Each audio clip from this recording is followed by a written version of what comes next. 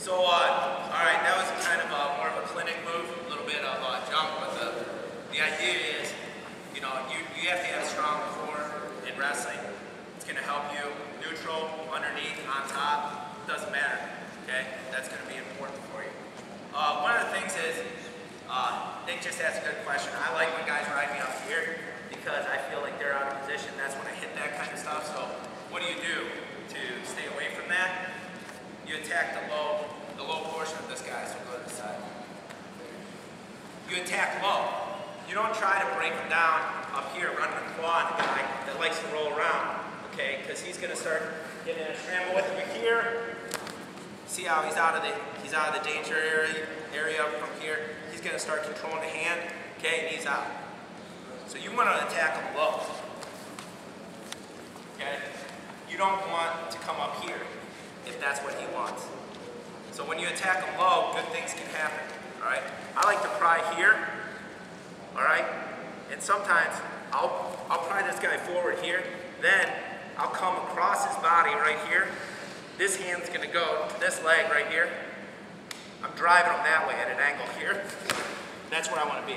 Now when he bases, I'm in my leg turn again, guys. Okay, right here. Leg turk up, in. So stay low, don't go high on that guy. you ride me next time, I'm not gonna like that. You go low on okay? Don't come up here. This is what I like, I like to roll from here. Come low, here, okay? When you get on, have, have what you wanna do in mind before you get on. Here, okay? If I wanna go low, all right, I come here, here, driving forward, looking, I'm creating space, right into that leg turn, here, forward, okay? Goes back to that hip pull where you clear that space here. My hip pull forward, okay? Same thing is that motion right here. Brandon's very good at it. Chopping the arm here. Okay, that's where I want to be. And then I take them forward. This one, very different. You're going forward, but you're going in that direction here. Okay, here. Go for this. Get go for this ankle right here. Drive him over here. See how I bring that out? I'm into my leg turn again, guys. Okay, right here. Looking up, he bases down. Here. That's where I switch my hips a little bit. Right in here. Want to keep going forward. There. Okay. Just other ideas on breakdowns. Guys say I can't, I can't break a guy down very well. Okay. The days of this, this little uh, ankle pick are pretty much over. I don't see this one a lot anymore.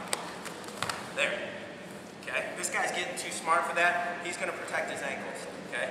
He's going to protect them right there. How am I going to ankle pick him? Not. I'm going to come to a pry here. Okay? This is where it is.